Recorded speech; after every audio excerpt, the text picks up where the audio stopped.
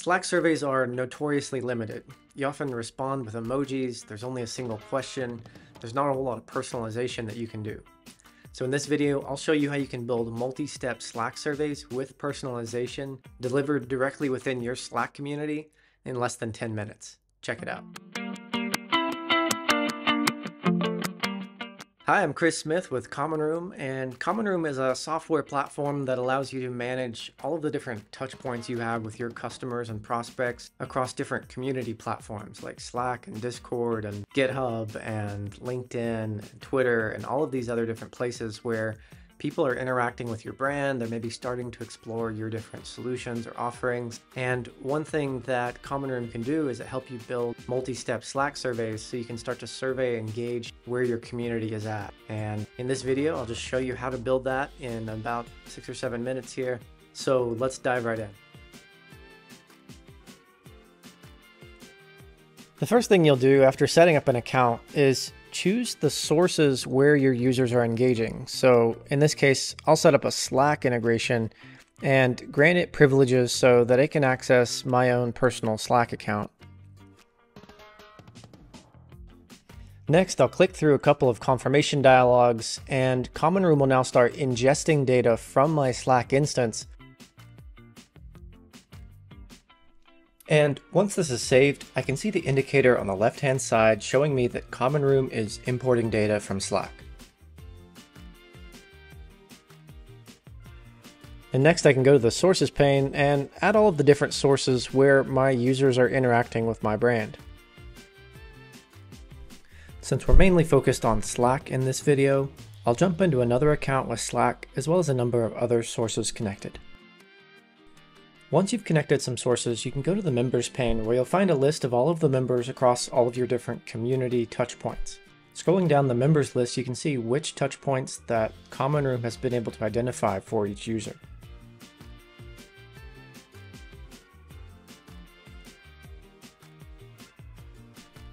Now that we have our Slack data in Common Room, we want to narrow down to our specific target audience for our survey. From the members view, select add filter, and we want to add people who are at an organization between 50 and 200 people, and who are in roles which fit under the titles for marketing, sales, and customer service. And lastly, we want to narrow this down a little bit more to people who have logged into the product in the last 30 days at least one time. And with that, we've narrowed down our target audience to 77 people from around 20,000. So the next step is to tag these members as our product market fit group so that whenever we set up our Slack survey, the workflow knows to apply that survey to these specific users.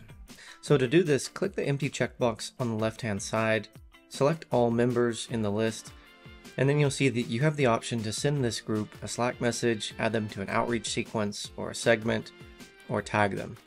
So here we want to add a tag called product market fit survey. And now all of these members will have the tags so that we can set up a workflow to send them a survey. To start setting up your workflow, click on the workflows icon on the left hand menu. Then you'll see a number of different sample workflows that you could set up. Click on the new workflow button and you'll find the button for surveying a cohort of Slack members. And this takes us into the workflow diagram where we can see that this workflow will run daily at 10 a.m. and it checks if a member satisfies certain criteria. So we're going to set up a member tag filter that will look and see if the member has the product market fit survey tag.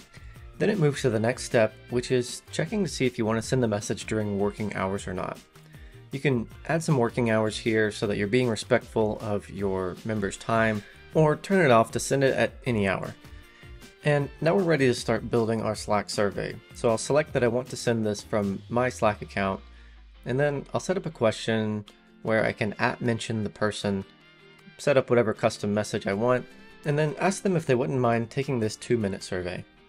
Next, I'll set up the multi-select question and ask the user how they'd feel if they could no longer use our product and set up the different options that I want them to have.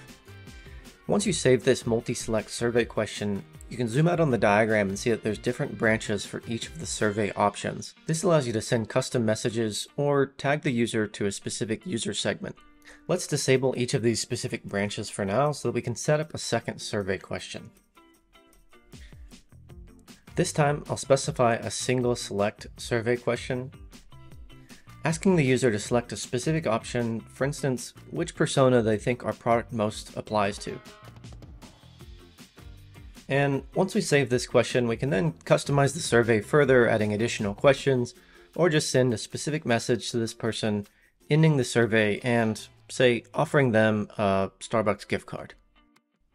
You'll also notice there's an option to send a test message in this message field. So if you click this, you can then jump into your Slack instance and see what the message looks like coming from Common Room. Looking good, so let's save this message and then save our workflow, turning it on, and we'll see that we end up at a dashboard which has all of our survey questions and specific tags for each of the answers.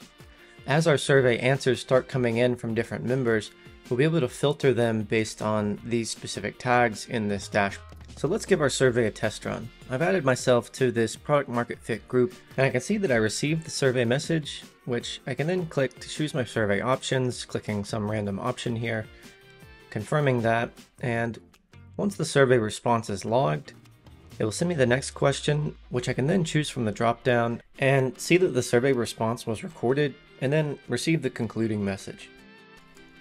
Looking good. To conclude this video, let's take a look at a dashboard for a survey that already has a bunch of responses. Here we can see the number of people enrolled, as well as tags for each of the individual question answer options. If you select one of these tags, it will filter the list down to only the people who answered with that option. And from here you can see that you can select all of the members who have answered the survey in this way, and choose to send them another message or add them to some sort of specific email sequence or a segment that you can track their activity over time. There are a lot of different options here for how you can apply this, but I hope this gives you a broad overview of how this works. Thanks so much for watching, and feel free to leave a comment below and join our Uncommon community at commonroom.io forward slash uncommon.